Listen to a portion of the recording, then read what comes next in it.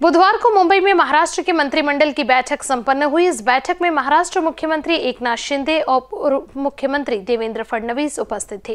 बैठक के बाद बैठक में लिए गए निर्णयों की जानकारी उप मुख्यमंत्री देवेंद्र फडणवीस ने पत्रकारों को दी। आज मंत्रिमंडळाच्या बैठकीमध्ये सन्माननीय मुख्यमंत्री महोदयांच्या अध्यक्षतेखाली एक अत्यंत महत्त्वाचा निर्णय घेण्यात आला. आणि आम्ही जो फिडर सोलरायझेशनचा निर्णय घेतलाय की ज्या माध्यमातून शेतकऱ्यांना दिवसा वीज द्यायची आहे त्याकरता जे कृषीचे फिडर आहेत याचं सोलरायझेशन करण्याचा एक कार्यक्रम आम्ही हातामध्ये घेतलेला आहे. याकरता शेतकऱ्यांनी आपली जमीन तीस वर्षाच्या भाड्यावर जर आम्हाला दिली तर आम्ही हेक्टरी सव्वा लाख रुपये हे शेतकऱ्यांना त्या ठिकाणी किराया द्यायचा निर्णय आज घेतलेला आहे. म्हणजे पन्नास हजार रुपये एकरी हा किराया शेतकऱ्याला मिळेल. तीस वर्षानंतर त्यांची जमीन त्यांना परत मिळेल. दरवर्षी याच्यामध्ये तीन टक्क्याची वाढ होईल. आणि जो काही फिडर आहे त्याच्या पाच किलोमीटरच्या एरियामधली कुठली खासगी जमीन ही याकरता आम्ही घेणार आहोत. आणि सरकारी जमीन असेल तर पाच ते दहा किलोमीटरमध्ये असली तरी सरकारी जमीन ही आम्ही त्याकरता घेणार आहोत.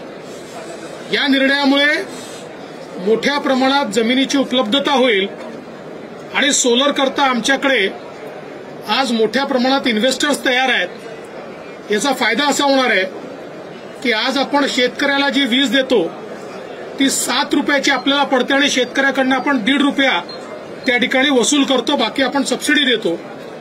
आता ही जी सोलरची वीज आहे ही दिवसा तर मिळेलच पण ही साधारणपणे तीन रुपयापासून तीन रुपया तीस पैशापर्यंत ही आपल्याला पडणार आहे. म्हणजे आज जी आपण सबसिडी देतोय त्या सबसिडीमध्ये मोठ्या प्रमाणात घट ही होणार आहे.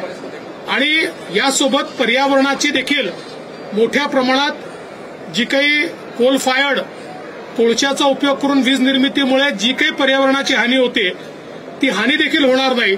त्यामुळे हा महत्त्वपूर्ण निर्णय आहे. आणि देशामध्ये असं निर्णय घेणारं पहिलं राज्य आपलं महाराष्ट्र या ठिकाणी ठरणार आहे.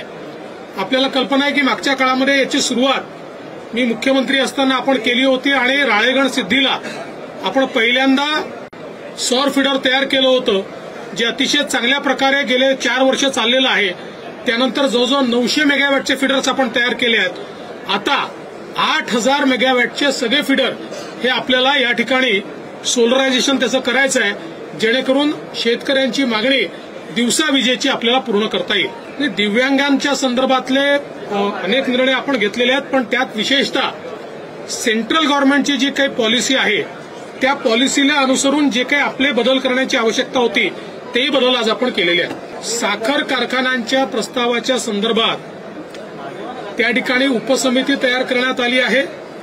आणि त्यासोबत काही तत्व हे त्या ठिकाणी तयार करायला सांगितले आहेत उदाहरणार्थ एखाद्या साखर कारखान्याला जर लोन घ्यायचं असेल तर त्याची जी ॲसेट व्हॅल्यू आहे या ॲसेट व्हॅल्यूच्या किती टक्के लोन घेता येतं याचा नियम आरबीआयने काढलेला आहे.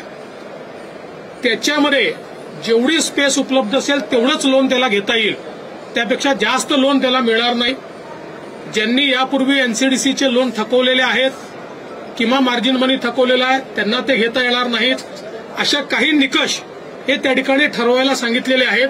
हे निकष ठरवण्यात येतील आणि त्या निकषात जे बसतील त्यांचा विचार उपसमिती करेल. असं आहे की जेव्हा महाविकास आघाडीचं सरकार होतं त्यावेळी त्यांनी भाजपचे किंवा भाजपशी संबंधित जे कारखाने होते यांना बाजूला काढून त्यांच्याशी संबंधित कारखान्यांना त्या ठिकाणी थक हमी देण्याचा निर्णय घेतला. त्यावेळी हे नऊ कारखाने एनसीडीसीकडे गेले. आणि एनसीडीसीला त्यांनी कर्ज मागितलं. त्यामुळे त्या नऊ लोकांचे प्रस्ताव होते. ते नऊ लोकांचे प्रस्ताव एनसीडीसीने सरकारकडे पाठवले. सरकार बदललं. सरकारसमोर ते प्रस्ताव आले. आणि म्हणून हे काही आजचे प्रस्ताव नाहीये. महाविकास आघाडीचं सरकार असतानाच हे नऊ प्रस्ताव सादर झालेले आहेत.